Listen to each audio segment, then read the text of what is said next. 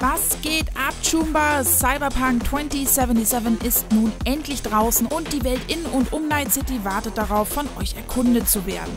Fühlt ihr euch nicht auch wie ein echter Bewohner dieser faszinierenden Stadt? Doch warum ist Cyberpunk 2077 so unheimlich immersiv?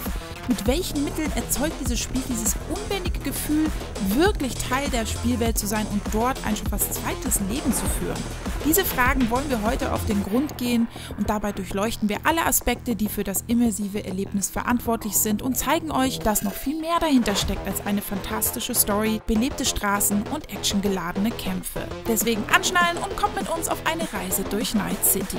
Und keine Angst, wir werden euch keine Story spoilern, solltet ihr das Spiel also noch nicht in den Händen gehalten haben, könnt ihr ruhig zuschauen. Doch bevor wir loslegen, verratet uns doch in den Kommentaren, für welchen Lebensweg ihr euch denn entschieden habt und warum. Nomad, Street Kid oder Konzernler?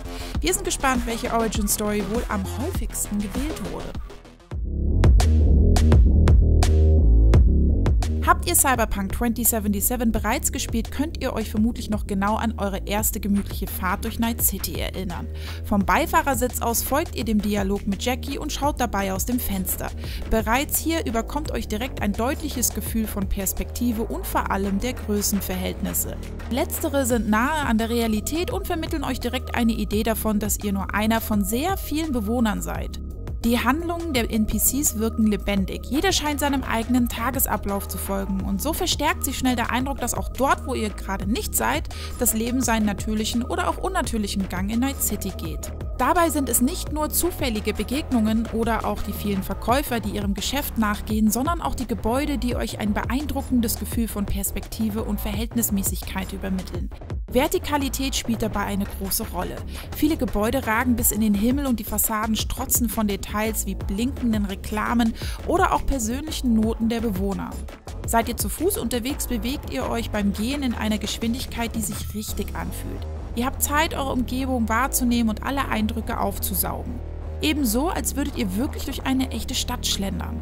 Bewegt ihr euch in einem Fahrzeug, wird der Eindruck der Größenverhältnisse von Night City weiter verstärkt. Besonders wenn ihr aus der Ego-Perspektive unterwegs seid, bekommt ihr ein gutes Gefühl davon, wie groß die Stadt um euch herum eigentlich ist. Ein weiterer wichtiger Aspekt für die Immersion der Spielwelt sind die Details, die aufgrund verschiedener Einflüsse entstehen. Jeder Stadtteil von Night City erzählt seine eigene Geschichte. Sowohl die Gebäude als auch die Bewohner sind oft eindeutig zuzuordnen und verraten euch, in welcher Gegend ihr euch gerade befindet. Seien es die Voodoo Boys aus Pacifica, die gerne in Strandklamotten unterwegs sind und viel Wert auf urbane Körperkultur legen, oder auch die zugeknöpften und gestriegelten Anzugträger, die die Ernsthaftigkeit und den Kapitalismus der Wolkenkratzer im Stadtzentrum unterstreichen. Jede Straßenecke, jede kleine Gasse und jeder Passant trägt seinen Teil zum Gesamtbild einer Stadt bei, die scheinbar niemals schläft. Damit ihr euch als Hauptfigur des Spiels identifizieren könnt, verfügt Cyberpunk 2077 über einen Charaktereditor, mit dessen Hilfe ihr noch vor Beginn des eigentlichen Spiels festlegt, wie ihr ausseht und wo eure Stärken liegen.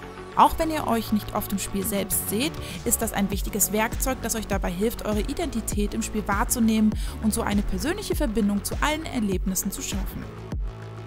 In der Rolle von Vi befindet ihr euch stets mitten im Geschehen. Doch ihr seid nicht einfach nur ein Held oder eine Heldin, die tapfer Mission um Mission erledigt und gleichgültig über die spielerische Leinwand streicht. Wie ist glaubhaft? Ihr habt eine eigene Wohnung, eigene Sorgen, Emotionen und zu jedem, dem ihr begegnet, eine einzigartige Beziehung. Aus Bekanntschaften werden Freundschaften, aus Scheins zufälligen Treffen Geschichten, die euer Verhältnis prägen. Und dabei ist vieles optional. Ihr entscheidet euch bewusst dafür, zuzuhören oder wegzulaufen. Diese spielerische Freiheit zieht euch durch alle Bereiche des Spiels. Es sind nicht nur die vielen Geschichten, die ihr optional erleben könnt, sondern auch die Entscheidungen, die ihr in ihnen trefft. Es liegt an euch, ob ihr empathisch reagiert oder bei jeder Handlung euer eigenes Wohl in den Vordergrund steht. Und geht es mal ans Eingemachte, ist euch auch hier überlassen, wie ihr vorgeht. Seht ihr euch als Haut drauf Söldner oder Söldnerin ohne Skrupel, der oder die gerne schießt und dann erst Fragen stellt oder mehr als Diplomatin, der oder die an die Macht der Worte glaubt und selbst dann, wenn es mal brenzlig wird, stets zu nicht tödlichen Lösungen greift? Entscheidungsfreiheit ist ein wichtiges Thema in der Welt von Cyberpunk 2077. Schließlich handelt es sich um ein Rollenspiel. Und lasst ihr euch auf diesen Gedanken ein, stehen euch viele Werkzeuge zur Verfügung, tief in die Rolle von Lee abzutauchen und euch entsprechend zu verhalten. Dazu gehören beispielsweise auch, dass ihr nach einem langen und anstrengenden Tag in eure Wohnung geht, heiß duscht, noch etwas fernschaut und euch anschließend erschöpft in euer Bett fallen lässt. Am Morgen blendet euch das grelle Stadtbild von Night City und nach ein paar kurzen Vorbereitungen in eurem Waffenschrank und der Wahl eines passenden Outfits beginnt ihr einen neuen Tag voller Abenteuer. Dass diese oft auch Einfluss auf die Spielewelt haben, werdet ihr immer wieder feststellen. Nicht selten seht ihr zufällig an Bildschirmen, die in der Stadt verteilt hängen, dass eure Taten oder Konsequenzen von den lokalen Medien aufgegriffen werden. Night City lebt, mit oder ohne euch. Ein weiterer wichtiger Aspekt für die Immersion von Cyberpunk ist das Sounddesign. Da hätten wir zum einen den stimmungsvollen Soundtrack, der durch Kooperation mit Künstlern wie Grimes, Billie Eilish und Run the Jewels nicht selten für eine grandiose Stimmung im Spiel sorgt. Sei es über das Radio während einer gemütlichen Fahrt durch die verwinkelten Gassen der Innenstadt oder auch in Missionen, in denen die ohnehin schon atemberaubende Action dank der musikalischen Untermalung nochmal auf ein neues Level gehoben wird. Auch Hintergrundgeräusche sollten an dieser Stelle nicht unerwähnt bleiben. So subtil sie oft sind, so wichtig sind sie für die Atmosphäre des Spiels.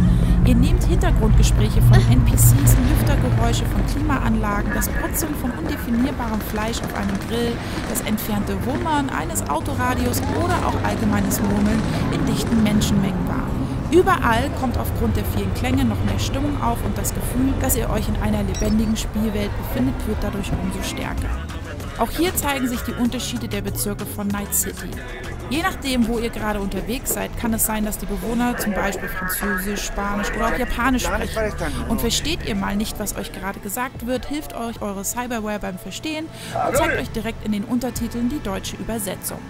Was allerdings noch beeindruckender ist, sind die Stimmen an sich.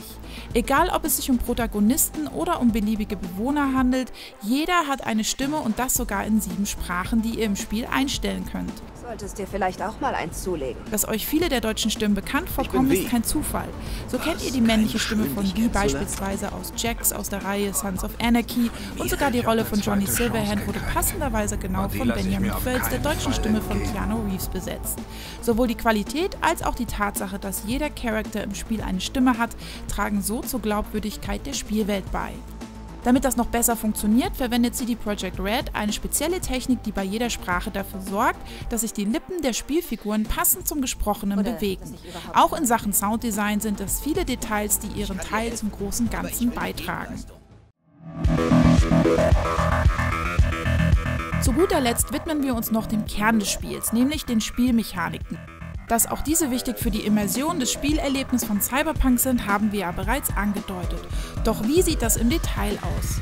Abseits von festgelegten Ereignissen in den Hauptmissionen gibt es jede Menge Spielraum, in dem ihr euch selbst austoben könnt. So könnt ihr beispielsweise durch die Gegend streifen und Überfälle vereiteln, um euer Ansehen auf der Straße zu verbessern und euch von den Cops vom NCPD belohnen zu lassen. Oder ihr besucht alte Freunde und schaut, welche Aufträge gerade so anstehen. Doch diese Aktivitäten kennt ihr vermutlich auch aus anderen Open-World-Spielen. Was Cyberpunk an diesen Stellen allerdings anders macht, ist die Herangehensweise. Viele Nebenmissionen und Aufgaben sind nicht nur optional, sondern können auch einfach übersehen oder überhört werden. Hin und wieder kann es vorkommen, dass ihr zufällig an einem Gespräch vorbeilauft. Entscheidet ihr euch dafür, stehen zu bleiben und weiter zuzuhören, kann dann eine Aufgabe daraus entstehen. Auf der anderen Seite habt ihr mit eurem Telefon die Möglichkeit, andere Figuren im Spiel zu kontaktieren. Dabei kommt es häufig zu Begegnungen und neuen Geschichten, die ihr auch einfach verpasst haben könntet, wenn ihr stur nur der Hauptgeschichte folgt. Auch die Herangehensweise an Missionen bietet euch eine große Portion Freiheit. Das beginnt schon bei der Vorbereitung, die ihr so umfangreich oder knapp ausfallen lassen könnt, wie es euch beliebt. Seid ihr nicht besonders achtsam, findet ihr euch schnell in einer schier hoffnungslosen Situation wieder, in der ihr ohne Munition oder passende Ausrüstung feststeckt und nur mit großen Mühen heil wieder herauskommt. Wie anfangs erwähnt, bestimmt ihr, welchen Weg ihr geht. Schleicht ihr lieber leise durch feindliche Gebiete und schaltet Gegner nur im Ernstfall aus, ist das genauso möglich wie ein Charakterbild, der beispielsweise vorrangig auf Nahkampf setzt. Ihr entscheidet, welche Mittel euch recht sind, um euer Ziel zu erreichen und die Konsequenzen können immer wieder anders ausfallen. Das gilt auch für Entscheidungen, die ihr in Gesprächen trefft. Ohne euch an dieser Stelle zu viel zu verraten, es gibt viele kleine Momente, in denen euch nicht klar ist, was eure Entscheidung für einen Einfluss nehmen. Doch wie wir auch schon selbst feststellen mussten, verpasst ihr unter Umständen ganze Ereignisse und Missionen, wenn ihr in bestimmten Situationen auf die eine oder andere Art reagiert. Mega spannend. Egal wie und was ihr in Night City erlebt, eines steht fest. Diese Erlebnisse werdet ihr so schnell nicht vergessen. Cyberpunk 2077 lässt euch nicht nur in eine wunderbar groteske und gleichzeitig glaubhafte Spielwelt abtauchen, es gibt euch durchgehend das Gefühl, ein Teil dieser Welt zu sein. Wir hoffen, ihr Chumbas habt viel Spaß in Night City. Schreibt uns doch mal in die Kommentare, welchen Aspekt des Spiels ihr besonders beeindruckend findet. Wir freuen uns auf eure Antworten und hat euch das Video gefallen, dann lasst uns ein Like da und vergesst nicht unseren Kanal zu abonnieren, um künftig keines unserer Videos zu verpassen. Vielen Dank fürs Zuschauen und wir sehen uns online.